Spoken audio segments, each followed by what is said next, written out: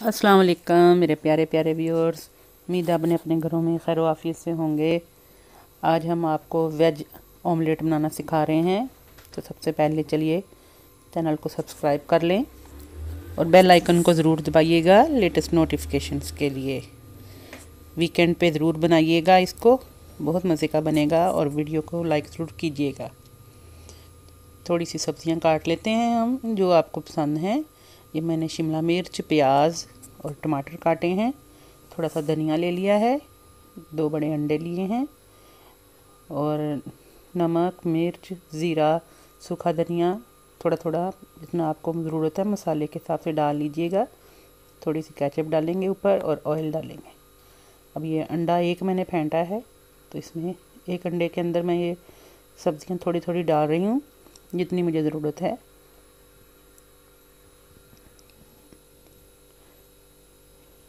सब्जियों में अब ये मैं मसाले डाल रही हूँ, नमक, मिर्च और हल्दी, सूखा धनिया, ज़ीरा वगैरह जो है, सारा डाल के थोड़ा सा इसको बीट किया है।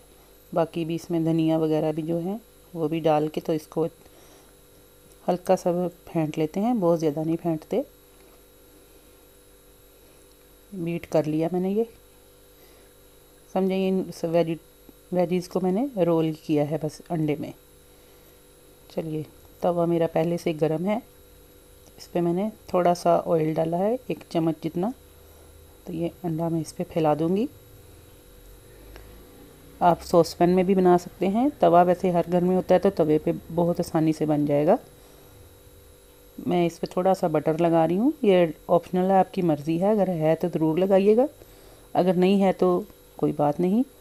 इससे अंडे का फ्लेवर और ज़्यादा अच्छा हो जाएगा।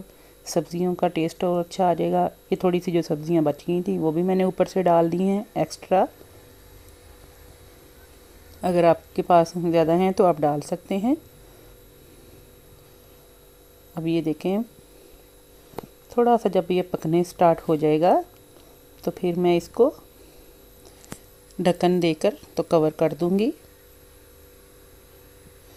आँच मैंने बिल्कुल स्लो रखी हुई है। अब ये मैं ऊपर ढक्कन देकर तो इसको चंद मिनट के लिए रख लेती हूँ।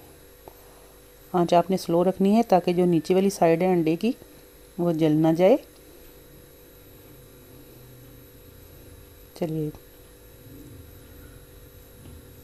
ये तीन से चार मिनट बाद मैंने ये अंडे को देखें हम। हो गई है साइड टर्न करने लगी हूँ मैं। बहुत एहतियात से टर्न करना पड़ता है। बाद दफ़ा टूट भी जाता है।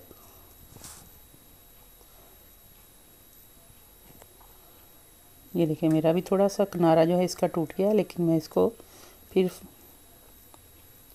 जेंटली जो है इसको क्लियर कर दूँगी, साथ जोड़ दूँगी। देखें। नीचे से परफेक्ट माशाल्लाह से पक गया है, देखें। थोड़ी देर के लिए आपने इस साइड पे भी पकाया इसको। क्योंकि हमने इसको कवर किया था तो इसलिए बहुत ही मज़े का और जल्दी बन गया। ये सबसे आसान तरीका है कवर कर दें।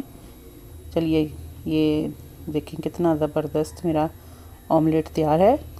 वेज ऑमलेट साथ ब्रेड रखिएगा स्लाइसिस और थोड़ी सी कैचअप डाल लीजिए, मज़ा ही आ जाएगा।